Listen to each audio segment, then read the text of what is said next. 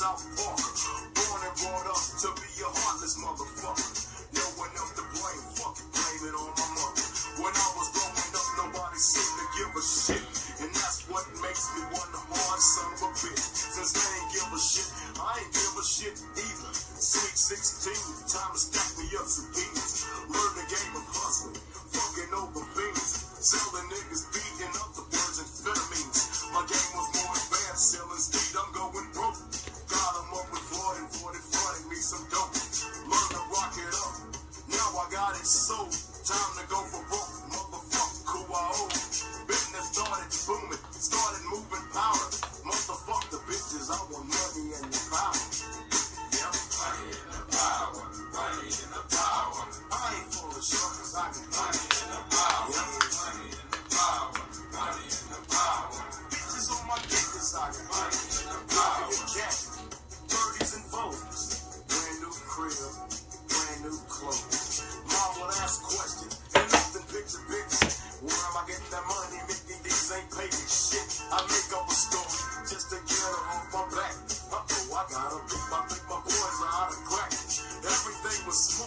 exactly how I played it. A dollar to be made, best believe a nigga made it.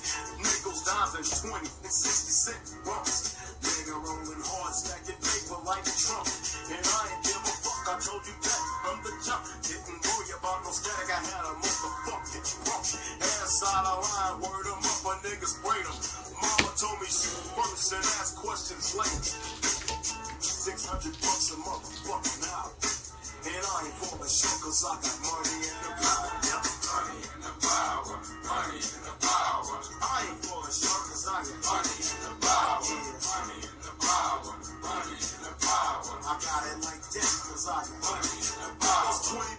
That's Scarface, Money and the Power. God, I love Scarface. Mostly known as for the Geto Boys, but that was, I believe, just Scarface as Scarface. And he's got the money and the power. And I, I can't remember the line from the movie Scarface. It's like, but if you got the Sandbergs, you got the money, you have the power, or something like the drugs, I don't know. So just a quick pickups video. Um, so I went back to, I I put a self-imposed ban on, but I had to go back and find out if he had any information on that Steph Curry. And he seemed like he was a little defensive. Just some team bags to have you stare at. He seemed a little defensive, like I was kind of questioning, you know, whether he was selling me like fake stuff or whatever. So he's like, "Oh, I don't know. You can't assume anything's real or fake." Blah blah blah blah blah. And then, then I told him about the card. He's like, "Oh, well, that's a thirty dollar card." Well, maybe a thirty dollar card, but not if somebody writes on it. It's not the person who's on the card. There's a fake autograph on there. There's no longer a thirty dollar card.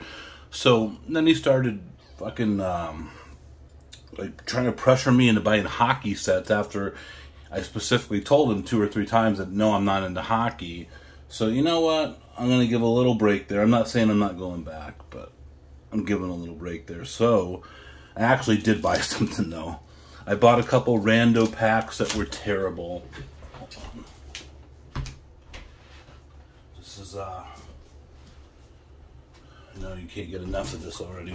So I bought some really terrible like 2012 Leaf football packs just to see what was in there, and there was nothing in there. And I bought two more packs of uh, the 1994 Bowman. I put the good stuff. This wasn't really good, but because the roommate was looking at it and wanted the card, so there's a Greg Maddux for the Braves. There was a Jeff Conine rookie card and it's got like the etching of the diamond on it. So that's a question because I do like the rookie card collection thing. Is a Jeff Conine worth keeping if it's still rookie insert from uh, Bowman? It's pretty pretty close to that line there. Um, so I then decided that I'm going to go over to Burbank Sports Cards. I had a little bit of time. So I bought this, some team bags. I've been selling a decent amount of stuff on eBay. I got to list some more stuff. I went through his whole box of Sandberg stuff. It looked like he added like 100 cards. And these are the only two, and I may actually have this one already. This was four bucks. This was a dollar. I don't think I have that. I don't remember that logo there. I don't know what it is, but I may not have had it. So I bought those. I didn't want to leave without anything else.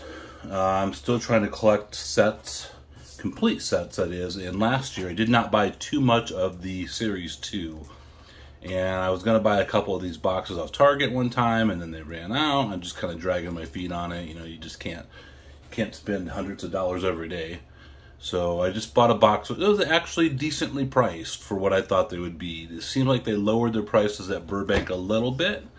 Um, they had a box of the the 2022 Diamond Kings hobby box for uh, 80 bucks, and I know that's uh, the other guy, when I looked at it, said he'd go 90 on it.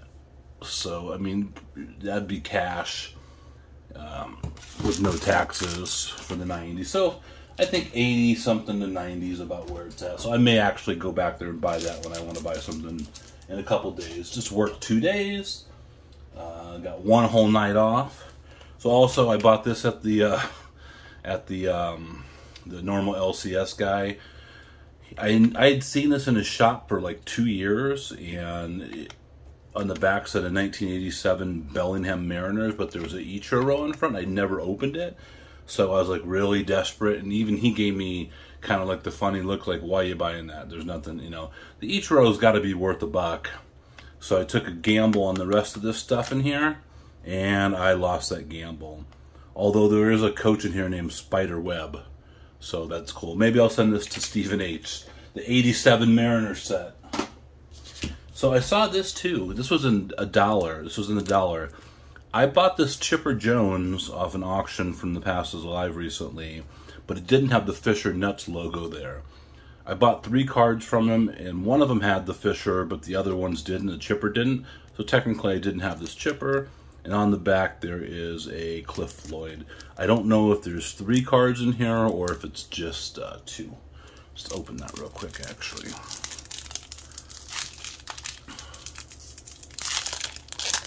see if there's three in here. Shout out to Joel Berry, Chipper Jones fan. There's three. And there's a Delgado. I actually, that's one of the cards I bought from him was the Delgado with the Fisher nuts on it.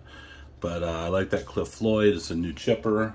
So I'll get those a little organization to do tonight, as usual. And then this morning, when I, I came home from work, and I usually don't go home right away because if the roommate has school, me being there does not make things better. He throws a tantrum twice as worse if I'm home. So I went over to Walmart and there's nothing, and then I went to Target.